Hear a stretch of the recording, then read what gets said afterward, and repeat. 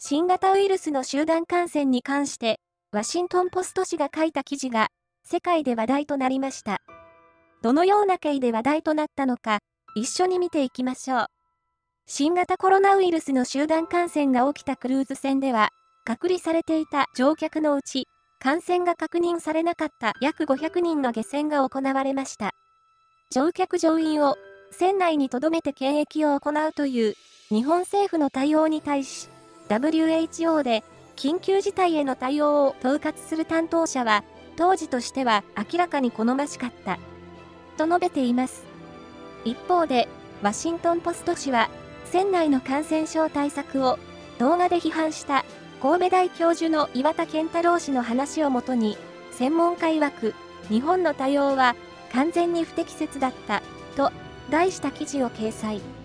新型コロナウイルスが急速に広がったとはいえ、日本政府の対応は遅く、適切ではなかったと、多くの専門家が指摘している、と、第三者の発言を通して、日本の対応に問題があったと指摘しています。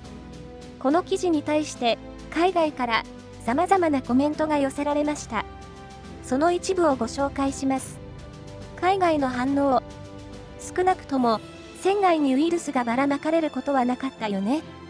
クルーズ船のスタッフが料理を届けたりとか、積極的に作業をしなきゃいけなかったのが信じられない。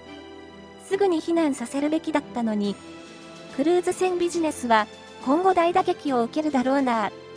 コロナウイルスの発生は多くの国の政府が今日疲れた感じだろ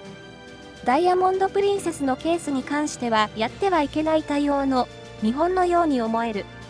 船の中で数千人が同じ空気源を共有するのは馬鹿げてるって？そんなこと、誰が事前にわかるって言うんだ。一般的にクルーズ船のスタッフたちは酷使されて賃金も安い。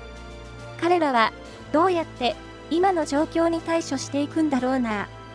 前提として病院船じゃなくてクルーズ船だからね。できるだけ早く専門チームを派遣するべきだったのかも。日本政府の対応は不適切なんじゃなくて、あえてそうしたんだよ。感染の可能性がある4000人もの人を日本に上陸させて、自国民に感染させるようなことはしたくなかったんだ。無関係の人間が批判をするのは、いつだって簡単なことだ。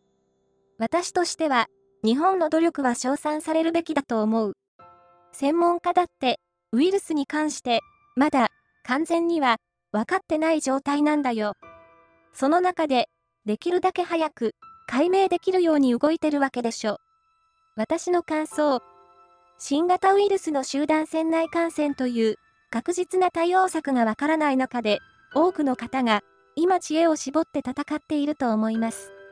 最善を尽くすことしかできない中で、絶対の対応は難しいのではと思います。